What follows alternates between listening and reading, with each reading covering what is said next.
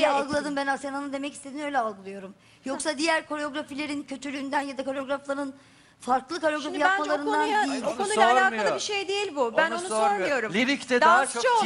tiyatral, tiyatral yetenek de istiyor dansçılığın yanında lirikte. Yani mimiklerini, yüzünü kullanıp Evet. çünkü ya bir biz şeyi bilmiyoruz seyircilerimiz canlandırıyorsun. bunu e, farklı bir kelime cümleyle duymak isterler belki. Yani e, lirik diğer danslardan daha zor, daha kolay e, olduğu için etkili. değil. Sadece daha etki bıraktığı için diyor. Daha Evet. duygusal. Evet. Bazen Peki. daha kolay, bazen daha zor olabilir koreografi. Evet. Ama genelin an- genel anlamda